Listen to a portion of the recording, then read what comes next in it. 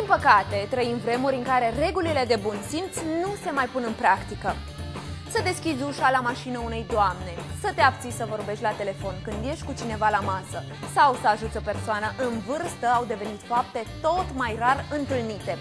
Vedetele noastre trag un semnal de alarmă.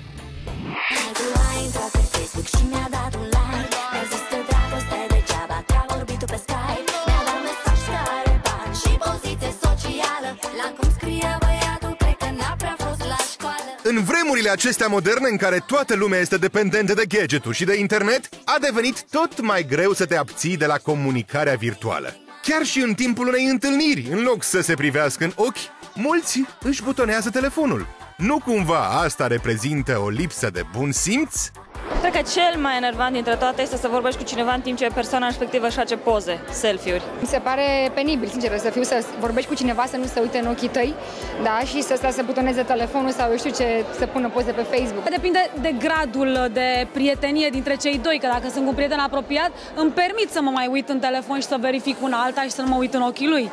Dacă e un, o persoană pe care o cunoști de puțină vreme, nu este frumos să faci asta. Cred că cel mai tare mă enervează asta cu Facebook-ul. În, ti- în timp ce suntem unii cu alții, mi-ar plăcea să fim unii cu alții. Nu suport socializarea asta intensă și intensivă pe uh, virtuale. virtuale. Mă deranjează. De ce să nu recunosc dacă atunci când vorbesc cu cineva, persoana respectivă nu se uită în ochii mei și nu mi uh, acordă atenția de care am nevoie?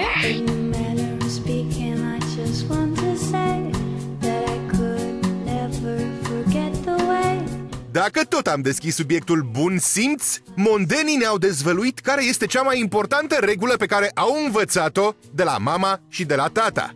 Întâi și întâi să nu împrumut bani de la nimeni, nu că aș avea nevoie, Doamne ferește. Să zici bună ziua, mulțumesc și la revedere. Mama întotdeauna m-a învățat că trebuie să respect pe cei bătrâni, să le dau întâietate.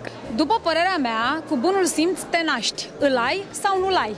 Eu am întâlnit oameni foarte citiți, educați, care erau foarte mârlani. Spre rușinea mea, spre exemplu, nu știam că într-un restaurant uh, uh, primul uh, trebuie să intre persoana mascul, de gen masculin. Să asculți când vorbește cineva.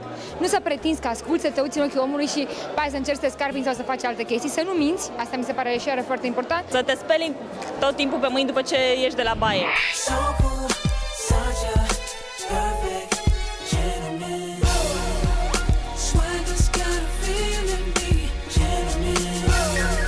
Gentleman Iar acum să aflăm ce norme de bun simț le-au impresionat recent pe vedete. Foarte rar mai văd un domn care deschide ușa la un taxi, foarte rar mai văd un domn care intră primul în restaurant și deschide ușa doamnei să intre după el în restaurant. Cu ușa la mașină este, este o chestie foarte rară. Mi-a fost deschisă ușa la, la mașină. Wow. Da, Ai fost șocată? Șocă și nu de către el, culmea. Un bărbat, de altfel, mi-a deschis uh, ușa de la taxi, ceea ce nu mi s-a mai întâmplat de foarte multe. Și ai rămas șocată? Da. Că se mai țin oamenii în vârstă de mână. Cred că e de apreciat și de admirat. Aparat